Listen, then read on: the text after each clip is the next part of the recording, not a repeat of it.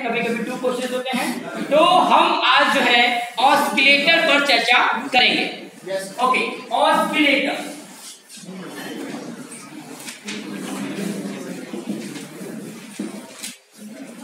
Oscillator oscillator के बारे में हम कुछ पॉइंट समझेंगे।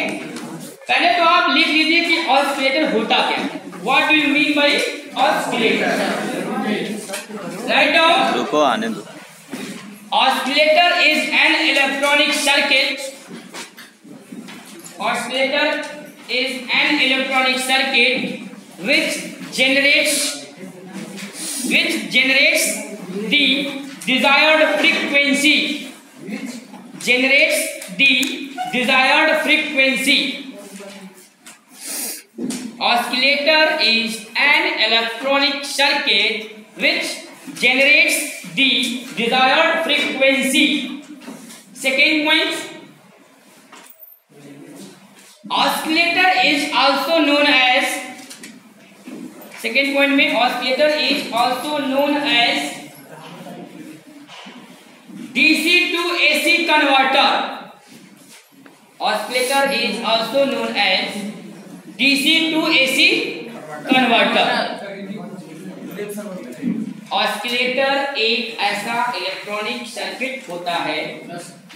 ऑस्किलेटर एक ऐसा इलेक्ट्रॉनिक सर्किट होता है जो फ्रीक्वेंसी उत्पन्न करता है। जो फ्रीक्वेंसी उत्पन्न करता है। सेकेंड पॉइंट इसे डीसी टू एसी कन्वर्टर कहा जाता है। इसे डीसी टू एसी कन्वर्टर कहा जाता है। थर्ड पॉइंट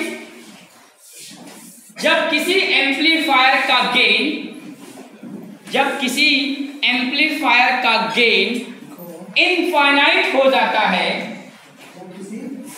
एम्पलीफायर का गेन अनंत हो जाता है। अनंत मीन्स इनफाइनाइट हो जाता है। तो वह वह ऑस्किलेटर बन जाता है। तो वह ऑस्किलेटर बन जाता है। जैसे फॉर एग्जांपल आप नेगेटिव फीडबैक पढ़े थे A F equal to A upon one plus A beta this is the formula of negative feedback you remember about that ये नेगेटिव फीडबैक का है। लेकिन ऑस्किलेटर में कौन सा फीडबैक यूज़ किया जाता है? पॉजिटिव फीडबैक पॉजिटिव फीडबैक का फार्मूला होता है गेन का। A F equal to A upon one minus A beta positive feedback का ये फार्मूला होता है गेन का। A F equal to A upon one minus A beta अगर इस इक्वेशन में ए बीटा की वैल्यू वन हो जाए तो क्या हो जाएगा F equal to infinite one एक बटा ज़ीरो मतलब इनफानाइट आर गेटिंग तो अगर किसी एम्पलीफायर का गेन इनफानाइट हो जाता है तो उसे हम लोग कहते हैं ऑस्किलेटर ऑस्किलेटर क्या करता है कि डीसी सिग्नल से चार्ज होता है और फ्रीक्वेंसी क्या करता है? जनरेट करता है। आप लोगों ने बेसिक इलेक्ट्रिकल में चार्जिंग डिस्चार्जिंग ऑफ़ कैपेसिटर पढ़ा होगा। पढ़ा है वहाँ पे? वहाँ पे बैटरी लगाई जाती है और बैटरी से आपका कैपेसिटर पूरी तरह चार्ज होता है उसके बाद बैटरी हटा ली जाती है और उसके बगल में एक इंडक्टर लगा होता है। तो कैपेसिटर के चार्जिंग और डिस्चार्जिंग की वजह से उसमें ऑस्किलेशन उत्पन्न हो जाता है। ऑस्किलेशन मींस फ्रीक्वेंसी और फ्रीक्वेंसी का मतलब AC signal are you getting ये इसका कुछ सिग्नल इस तरह होता है। इसका बोल दैट ये आपका एक कैपेसिटर है। यहाँ पर मैंने एक स्विच लगा के बैटरी जोड़ दिया है। सपोज़ दैट ये मैंने बैटरी जोड़ दिया और एक मैंने यहाँ पे लगा दिया है कॉयल मतलब इंडक्टर यहाँ पर कैपेसिटर और ये इंडक्टर है ये बैटरी है। क्या है? Volt battery positive negative positive है।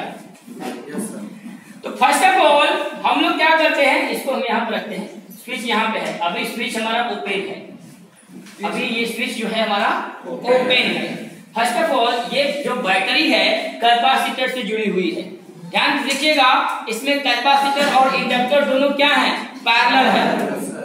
जब इंडक्टर और कैपेसिटर पैरेलल होते हैं तो उन्हें टैंक सर्किट कहा जाता है। क्या क्या कौन सर्किट? Tank circuit. और इस टैंक सर्किट में ऑस्किलेशन उत्पन्न होगा। क्या उत्पन्न होगा? फ्रीक्वेंसी कैसे फ़र्स्ट ऑफ़ ऑल ये कैपेसिटर इस बैटरी बैटरी मतलब डीसी बैटरी मतलब इस बैटरी मतलब इस डीसी से बैटरी कैपेसिटर पूरी तरह से चार्ज हो जाएगा। क्या हो जाएगा? जब कैपेसिटर पूरी तरह से चार्ज हो जाएगा तो हम इस बैटरी को हटा देंगे और इसको जोड़ देंगे। स्विच को इससे कनेक्ट कर देंगे इंडक्टर के द्वारा। अब क्या होगा? ये कैपेसिटर जो पूरी तरह से चार्ज हो गया है इस इंडक्टर के माध्यम से वो डिस्चार्ज होने लगेगा। आर गेटिंग माय पॉइंट अब ये डिस्चार्ज होगा फिर ये चार्ज होगा डिस्चार्ज होगा, इस तरह इसमें ऑस्किलेशन उत्पन्न हो जाएगा। और ये ऑस्किलेशन मतलब as a frequency that means हमने डीसी लिया और उसको ऑस्किलेशन मतलब फ्रीक्वेंसी में चेंज कर दिया मतलब एसी में। तो मैंने एक लाइन लिखवाया था कि oscillator is also known as DC to AC converter DC to AC converter इसमें ये बात याद रखिएगा कि कैपेसिटर और इंडक्टर दोनों पैरेलल में होते हैं। जो आप VCC लगाते हैं VCC जो आप किसी ट्रांजिस्टर में या सर्किट में जब VCC लगाते हैं तो उसको पावर सप्लाई कहते हैं। तो उस पावर सप्लाई से कैपेसिटर आपकी पूरी तरह से चार्ज होगा और उसके बाद जब चार्ज हो जाएगा, और उसके बगल में मतलब पैरेलल में एक इंडक्टर लगा होगा। क्या लगा होगा? और उस इंडक्टर के द्वारा वो डिस्चार्ज होने लगेगा। तो चार्जिंग कैपेसिटर के चार्जिंग और डिस्चार्जिंग की वजह से टैंक सर्किट में ऑस्किलेशन उत्पन्न हो जाएगा। एक लड़के ने पूछा कि सर ये बताइए कि टैंक सर्किट मतलब कौन सा सर्किट जिसमें इंडक्टर और कैपेसिटर पैरेलल में जैसा कि आपने बताया तो टैंक सर्किट में जो ऑस्किलेशन उत्पन्न होगा क्या उसमें एनर्जी लॉस नहीं होगा? होगा। तो उस एनर्जी लॉस की कंपनसेशन क्षतिपूर्ति हिंदी बोलते हैं। कंपनसेशन करने के लिए हम लोग इसमें ट्रांजिस्टर यूज़ करते हैं। क्या यूज़ करते हैं? क्योंकि जो ऑस्किलेशन उत्पन्न होता है, हमको कैसा ऑस्किलेशन चाहिए? सस्टेन्ड ऑस्किलेशन सस्टेन्ड ऑस्किलेशन का मतलब जिसका एम्पलीट्यूड कांस्टेंट हो।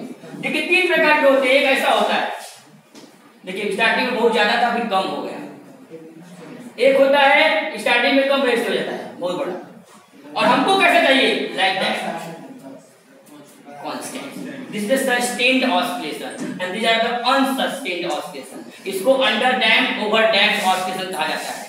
ऑस्किलेशन कई टाइप्स के होते हैं बट हमारे सिलेबस में हमें जैसा फ्रीक्वेंसी चाहिए हमको चाहिए साइनोसॉइडल वेव कौन सा वेव साइनोसॉइडल वेव जिसका एम्पलीट्यूड टाइम के साथ कांस्टेंट हो उसको सस्टेन्ड ऑस्किलेशन कहा जाता है। तो जो इस टैंक सर्किट में इस इंडक्टर के द्वारा जो एनर्जी लॉस होगी उसकी क्षतिपूर्ति कौन करेगा? ट्रांजिस्टर क्या कौन करेगा? ट्रांजिस्टर। जितने भी हम ऑसिलेटर पढ़ेंगे उसमें ट्रांजिस्टर का यूज़ किया जाएगा।